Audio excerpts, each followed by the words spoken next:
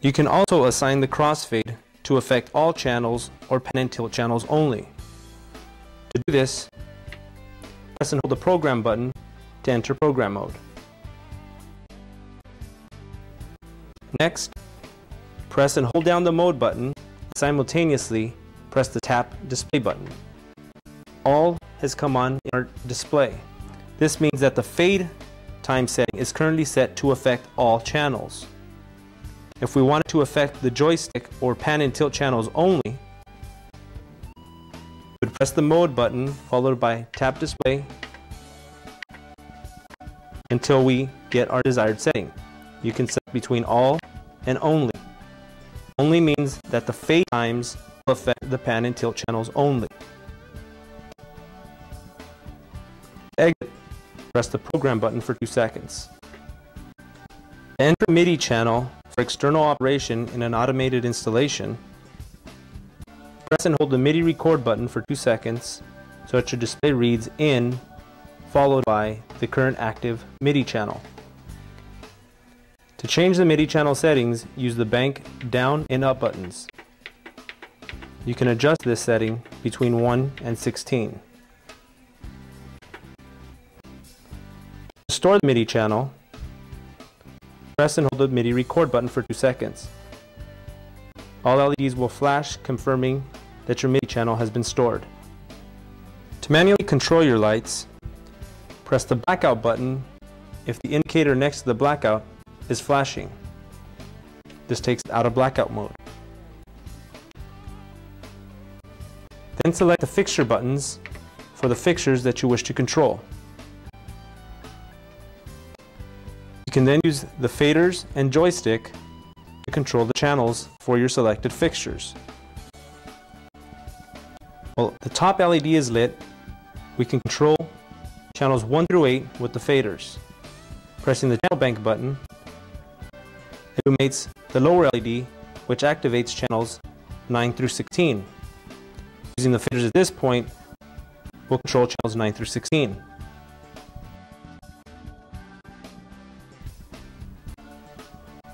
My shutter and dimmer are on channels 15 and 16, so raising those faders opens the shutter and dimmer.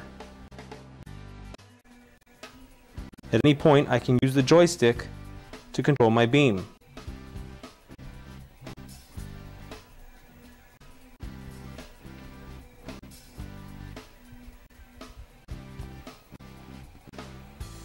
My gobo channel is on channel 11, so as I raise channel 11 fader, can go through various gobos of my lights.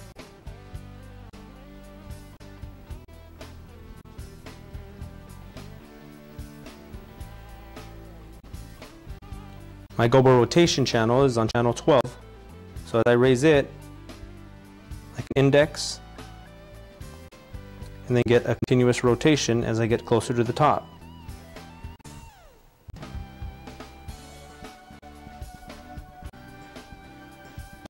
Press the channel bank button once again to get to my color channel so I can put a color on top of my gobo. Channel 7 is my color channel. As I adjust it, you see a color overlaying on top of the gobo.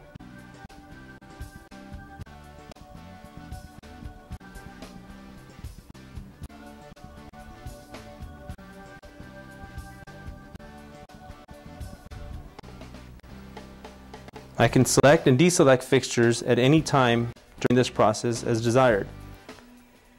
I'll deselect fixtures 1 and 2. As I adjust the beam, using the joystick, you'll notice that only the selected fixtures are being manipulated.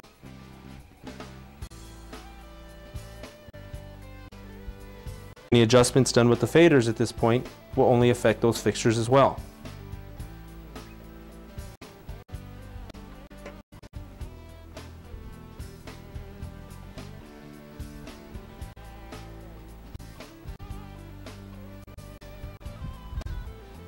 Program scenes, press and hold the program button for 2 seconds to enter program mode. Small indicator next to the program text will come on. Next, select the fixtures that you want included into your first scene. I'll select fixtures 2 and 4 so that fixtures 1 and 3 are the only ones selected. I can then use my channel faders to control the various channels of my lights. I've opened my shutter and dimmer with channels 15 and 16. I can then press the channel bank. I can then adjust my fixtures by adjusting faders 1 and 2 or using the joystick.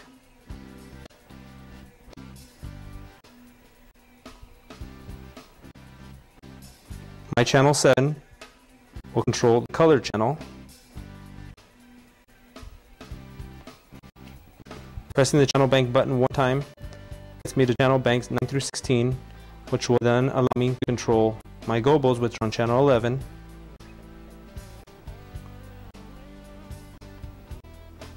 store this as a scene, we want to select the scene bank that we want to store our scene to. Use the up and down arrow buttons to select from the three scene banks.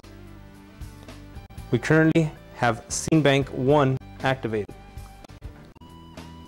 To store this on scene bank 1, I'm going to press MIDI record button followed by scene button 1. All LEDs will momentarily flash, confirming that the scene has been stored. And then move our lights and adjust the beam position Use the channel faders to adjust our gobos and colors if desired.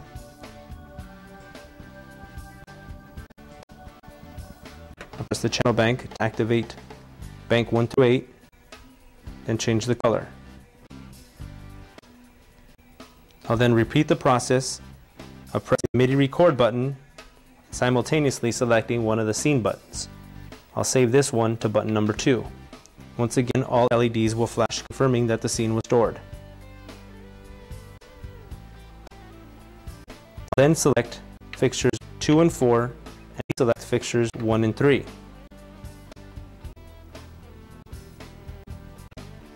Activate channel bank 9 through 16 and open my shutter and dimmer for those fixtures. I'll let it be positioned with the joystick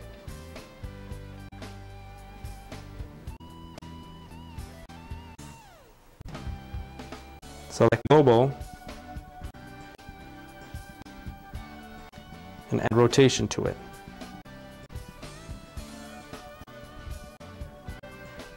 I'll store as a scene by repeating that same process of pressing the MIDI record button followed by the scene button where I want to store it to. I'll select scene button 3. You can always go back and select the scenes at any point during the record process.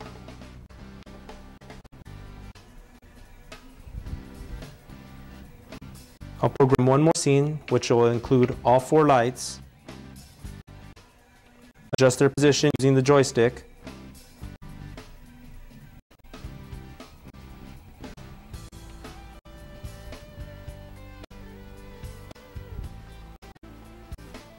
I'll select a gobo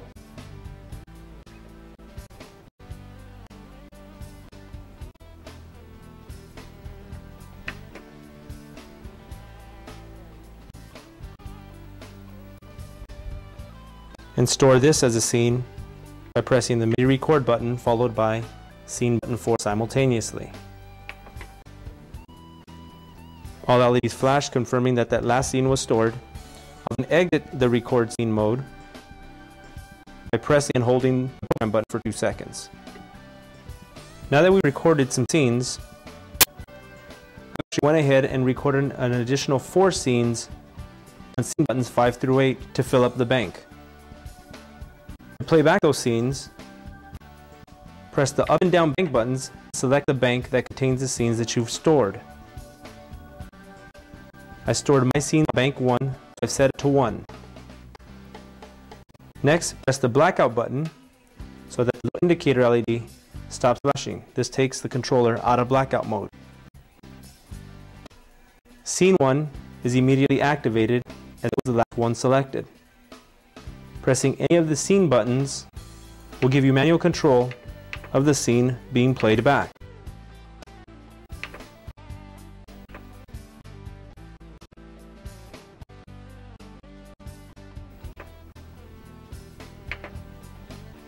These are the additional scenes that I programmed. These are the scenes that we programmed a little earlier.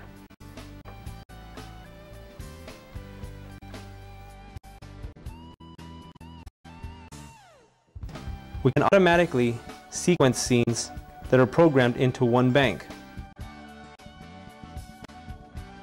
It'll sequence the scenes from 1 through 8 in order.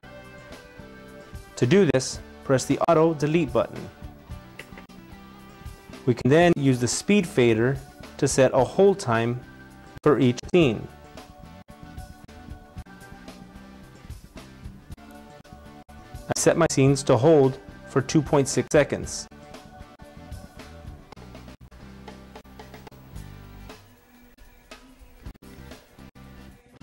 This tells us which scene is currently being played back.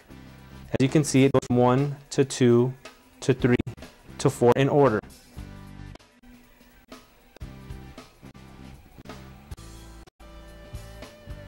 We can also add a fade time to those scenes by adjusting the fade time fader. Will cause smoother transitions between each scene being played back.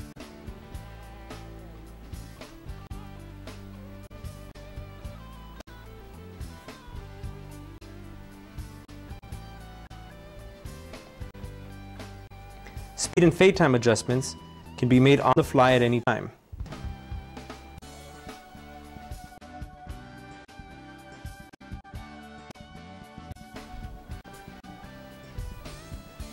You can also press the tap display button to get a tap sync action. This will make the scenes chase to the tempo at which I tapped the button to.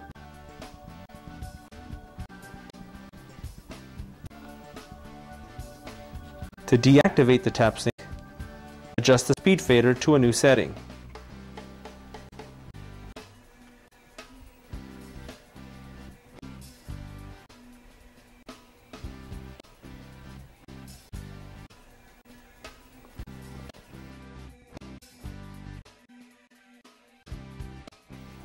Can stop this sequence at any time by pressing the auto button.